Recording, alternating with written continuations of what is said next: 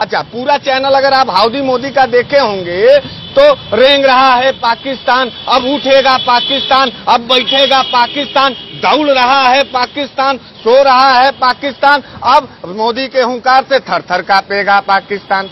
यार भाई साहब पाकिस्तान को अगर दिखाना है आपको हम बता दें भारतीय चैनल जो है भारतीय चैनल का जो इरादा हो चुका है जो दृष्टि हो चुका है जो भी चैनल बीजेपी वाले अगर रिएक्शन देंगे तो, तो जूता जूता मार खाएँगे। नहीं खाएँगे।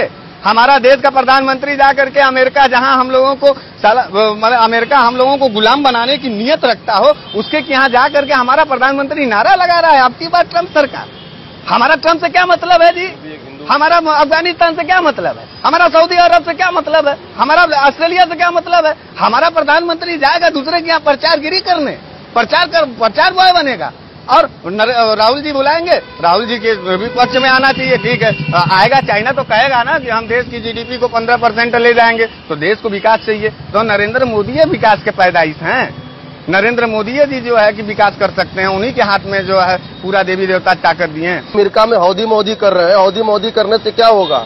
आज जो कश्मीर की अवस्था देख रहा है, अमेरिका के पंद्रह सांसद ने मोदी जी से गुहार लगाया है कि कश्मीर को मुक्त करे। हाउदी मोदी अमेरिका में क्या शब्द है ये तो हम हिंदुस्तानी नहीं जानते। लेकिन हम एक बात आपको बता दें हमारे गाँव गिराव में हमने अपने दादी अम्मा से पूछा कि ये हाउदी मतलब क्या होता है दादी अम्मा? तो उन्होंने कहा कि जो गाँव के हमारे घरों का जो वो मलजल जहाँ गिरता है उसको हाउदी बोलते हैं। देखिए ये हम नहीं करें ये पारिवारिक और संस्कार के लोग नाद कहा जाता हाँ उसे नाद कहा जाता है। तो नरेंद्र मोदी जी अमेरिका में जाने के बाद जिस तरीके का उनका भाषण था, जिस तरीके का उनका पूरा एक्शन था, वो एक्शन अमेरिका की दलाली और चापलूसी करते नज़र आई है। मैं आपको बता दूँ कि ये पहली दफ़ा था कि भारत का कोई प्रधानमंत्री प्रचार बॉय बन करके अब की ट्रंप सरकार बोल गया। आपको बता दें, मनमोहन सिंह या उसके पहले के जितने भी प्रधानमंत्री थे, वो तिरंगा के सभ्यता और तिरंगा के ताकत को समझते हुए अन्य देशों को झुकाते थे और अपने बात पर, अपने विचारों पर उनसे सहमत कराते थे। हमने कहीं किसी का प्रचार करते हुए किसी प्रधानमंत्री, इंडियन प्रधानमंत्री को नहीं देखा। वो इंडियन मोदी का जो तस्वीर है, वो गरीबों को कलेजा चीर करके बाहर नोचने का और अमेरिका के दरवाजे पर बेचने का काम जो कर रहे हैं नरेंद्र मोदी, उससे मुझे नफरत। मैं ब्राह्मण व्यक्ति हूँ, बड़ा आत्मा रो रहा है आपके इस तानाशाही से। तानाशाह को खत्म करिए, अब पाकिस्तान की योग के बंद करिए। पहले देश की जो अर्थव्यवस्था है, देश की जो समस्या है, उसमें एक लाख, डेढ़ डेढ़ लाख फैक्ट्रियाँ बंद हो रही हैं भाई साहब गुजरात से लेकर के हरिद्वार तक की जो फैक्ट्रिया थे वहाँ लाखों लोग काम कर रहे थे घर वापस आ रहे हैं। दीपावली में स्थिति क्या होगी? हम दिया जला पाएँगे। ट्रंप ने कहा था कि ये इंडिया फादर। उनको पिता की तुलना दी है महात्मा गांधी के बराबर। आपको लगता है कि एक बिना परिवार वाला व्यक्ति पिता की भूमिका निभा पाएगा? आप बताइए हृदय से बताइए। आप भी कहीं ना कहीं बाप होंगे मैं भी कहीं ना कहीं किसी का बाप हूँ। जो व्यक्ति अपने परिवार अपने मर्यादा अपने पत्नी अपने माँ अपने बाप की उम्मीदों को पूरा नहीं कर पाया देश में सत्ता में आने के बाद जो है देश की सत्ता में बैठ करके देश के सत्ता में देश के जनता का खून चूसने का काम कर रहा हो जो व्यक्ति अपने दर्द को आ, हमारे दर्द को समझ ना पाता हो तो वो व्यक्ति जो है गॉड फादर हो जाएगा।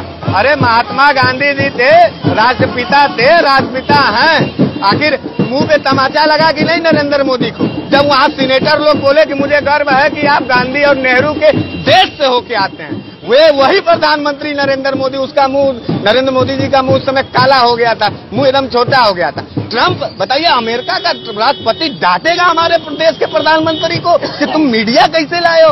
अमेरिका तय करेगा। इसका यह मतलब है कि भारतीय जनता पार्टी नरेंद्र मोदी अमित शाह राजनाथ सिंह ने देश को कहीं न कहीं अमेरिका के हाथों बेच दिया है। ये राष्ट्रवाद के नाम पर हमें और आपको छलने का काम कर रहे हैं। हमारी और आपकी तस्वीर जो है ये हमको सिर्फ़ राष्ट्रवाद में पताएँगे और देश बिक चुका है मुझे तो ये लग रहा है। इनके एजेंडे में भारत और किसान नौजवान मजदूर किसान बुनकर है ये नहीं है। इनके, इनको तो हिंदू और मुस्लिम करना है इनको तो जो है फिर मुसलमान और हिंदू करना है पाकिस्तान इमरान करना है।